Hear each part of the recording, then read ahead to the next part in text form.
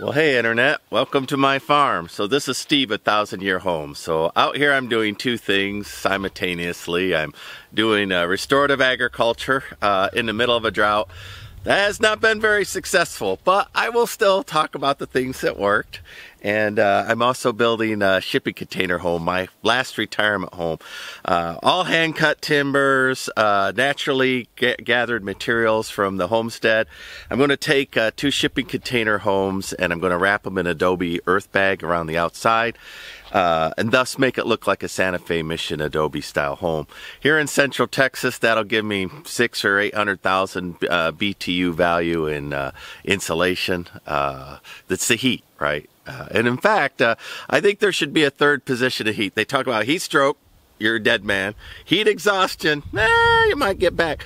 But I also believe there's uh, another theory. First step is heat fatigue, and, and that is what I have, heat fatigue. And it's 95. I saw in the nation that it said first snow across the nation, and I'm uh, 95 right now. And I've got to tell you, it is very hard. Uh, it's been triple digits all summer long, uh, no rain, and uh, I have got heat, heat fatigue where I just, it's hard for me to get out and do things. But I have got a lot done for September. I brought in a new horse and trained him Blaze. I made a lot of fire breaks. There had been a wildfire right next to me, so I spent a lot of time cleaning the land. Uh, going back to the restorative agriculture. And uh, it rains starting in October, and that's a day away. October's a day away. And I, for those of you who've been following the channel, this it was a little dry hole before I got one day of rain. Actually, one hour of rain, and it was two inches, and it filled it up. It's fairly deep, and there's a lot of little frogs in there still if I waded down in there, it would be up to my waist. So what I'm trying to do is dig this pond out. Now I have actually had this as a pond. It has been all filled up here before, uh, but it's not right now. I might put some pictures in if I can find them. We'll find out. So. Uh, a couple of different things. I've got this old Sakrete that was underneath the Connex that had picked up a lot of moisture. So I had uh, cleared out the uh, cleared out the culvert and uh, had built up the bottom and uh, those are lumps of concrete in there from other bags. So I'm going to overtop that today but first I need to put some uh, uh, rebar in there and I have some old rebar. So I'm going to go get my rebar cutter and cut that out and then I'm going to stack uh, Sakrete on here. I'm going to cut out that one branch that's overhanging uh, we'll see how much I can get done in this heat. It really is something else. It's something fierce. So I work a little bit and then I quit a little bit. So, uh, but September, uh, I got my vaccinations updated. That put me out for a little bit. I didn't feel real good about that. Leah had surgery. That put her out for a little bit, but I went and visited, you know, and uh, but I broke a horse. I got a horse and got him all tamed up and uh, cleared a lot of land. I was successful, but um, I need to get back in the house. But uh, let me, because I've got rain coming in about four days, see if I can finish up that particular little pond to get it a little deeper and um, fill up the driveway as well. And I'll put you guys on stop motion while I do that. And I've got some ideas for. Uh, for that driveway. So uh, every bridge that you cross over is uh, packed earth, but they put a, a, fabric in between the layers of dirt, and it's called structural earth, is what it's called. And uh, so I have got some landscaping fabric. I've got some old tarps out here. I've got uh, some old carpets. Uh, uh, but I'm going to that particular spot that's real low and that I'm going to be filling in with clay. I'm going to go ahead and put landscape fabric down on it and then a little sand on the topsoil and I'm hoping that it hardens that up and uh, gets me through and then I'm done with that part of the drive. So that's what I'm going to be working on today and I will put you on stop motion while I do that. And it is toasty warm out here so I'll do a little bit, quit a little bit, do a little bit, quit a little bit because uh, I am all worn out with the heat. So, all right, let me see, get going on this thing. All right, well, it's evening time. The temperature's down. Let me go ahead and continue on with this little project. Which basically, when I cut this corner, uh, sometimes I cut it and a wheel drops in, as I mentioned. So uh, the pipe, you know, they come in known known lengths, and uh, I guess I needed a longer one. But I like that, a little tiny uh, decorative path in there. It does collect water down in there, so But let me uh, go ahead. I brought the uh, the angle iron that I'll need, and let me just go ahead and finish making that concrete bridge there. So all of that was just leftovers that uh, have been sitting here about a year. The bags are already getting hard.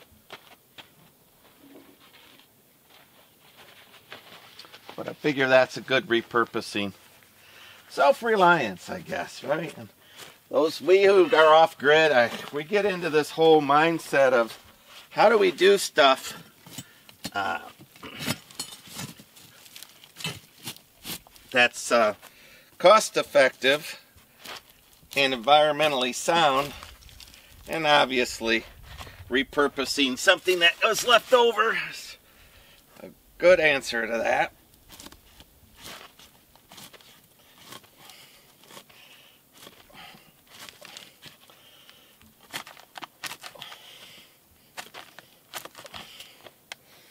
I might get a sledgehammer. Let me get that. Be right back.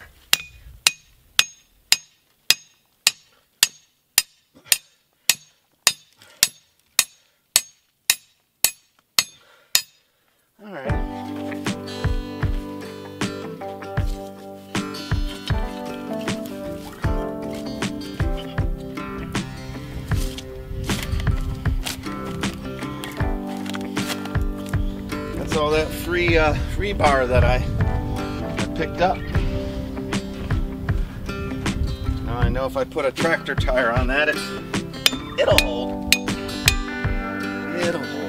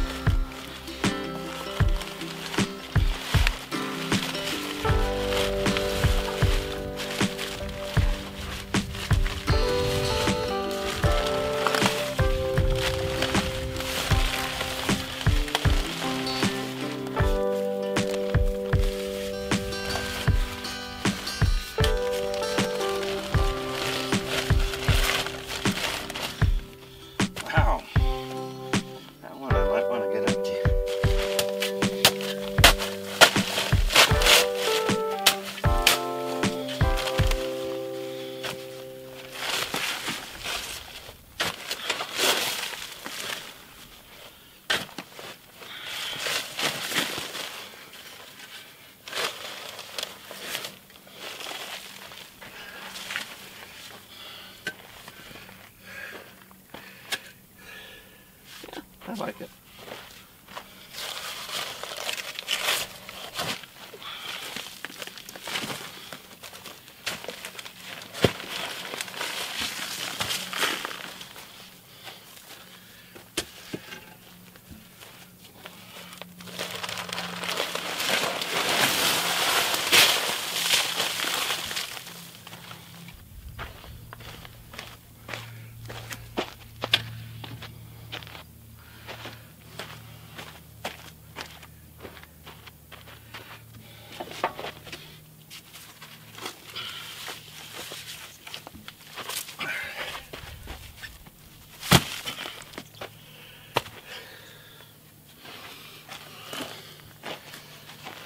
So don't anybody worry that I've have used good concrete for that. In fact, I had bought the uh, the uh, ruined concrete from Lowe's. When I first got these shipping containers, my idea was to pick them up and set a set them on an old bag of cement and slowly lift them up that way.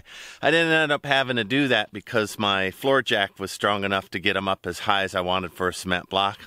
So these have been sitting here for a while, but I like that. I think that's a that'll work in just fine. Now I'll go get some, uh, I'll go get my bucket on here. I'll swap that pellet and fill in some dirt. Cut that low branch out of there. It is dead when you follow it up. There's nothing, no life in it. So do some pruning and uh, get that all leveled out then. So I'll raise it up and I'll cover that with uh, clay down over into the, uh, you know, make this a path that's up. And so when it floods, this will stay dry and it might be a secondary avenue if something happens to that part of the drive, but I'm getting that part of the drive, so I think I'm in good shape. All right, let me do a little bit of cutting. All right, so now I'm going to cut that tree out of there. It's completely dead, as I showed you earlier, and it's so low that it barely clears my tractor, and if I build this area up a little bit, then it'll make that uh, even more problematic. And that's my intention as I dig that pond. I'll build up my drive in, I'll build up this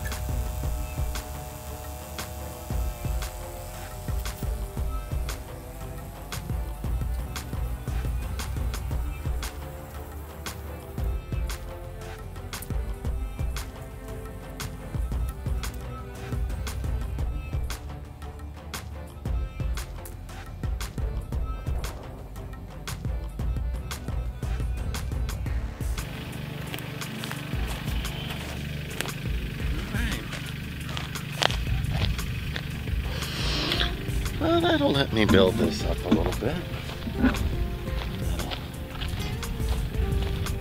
fill that up and you won't even see the bags when I'm done with it. It'll be all natural.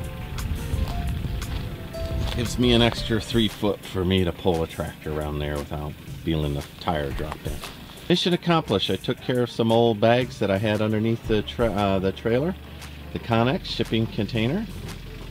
And I'm still working on this little pond. well, that'll do. I had a full day today. Thank you. This is Steve at Thousand Year Homes. Thank you for joining me. Like, subscribe. Bye bye.